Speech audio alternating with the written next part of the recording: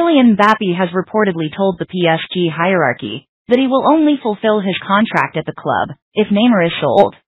The French star signed a new deal until 2025 with the League One champions in the summer, worth £650,000 per week, after sensationally snubbing the advances of Real Madrid. As part of the New Deal, Mbappe was also handed influence over sporting affairs and the way the club is run. However, it hasn't stopped the talking at the Parc des Princes, with several dramas continuing to engulf the club, as reports broke last week in Le Parisien that Mbappe now wants to leave PSG after feeling betrayed by the board. Despite the rumors surrounding his future, he claimed that it is false, that he asked to leave PSG in January, after the Parisians beat Marseille 1-0 at the weekend. According to El País, Mbappe has now told PSG's hierarchy that he will only fulfill his contract and remain at the club if Neymar is moved on.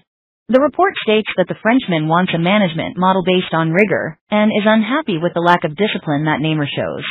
When the Brazilian extended his deal until 2027, Mbappe was extremely disappointed with the PSG hierarchy, and this started the doubts over his future at the club. According to Spanish outlet Sport, PSG president Nasser Al-Khelaifi appreciated that he needed to do something to ease Mbappe's discontent, and therefore tried to find a potential suitor in the summer for Neymar. However, Newcastle were the only option, and Neymar wasn't interested in a move to St. James Park, while Chelsea's reported intercept, which the Brazilian was keen on, never developed.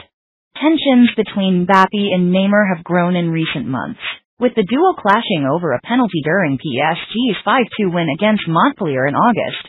After Mbappe had missed a penalty earlier in the game, the pair argued over who should take PSG's second spot kick.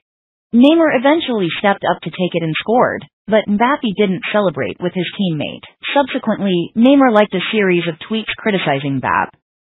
Following that, Mbappe seemingly refused to pass to Neymar in their Champions League clash with Juventus, when the Frenchman instead elected to shoot and miss the target.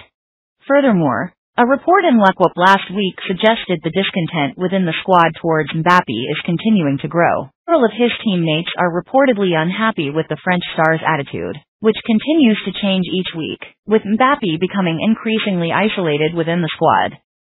Mbappe's support base is ever shrinking, with the club star man now only having the backing of his fellow French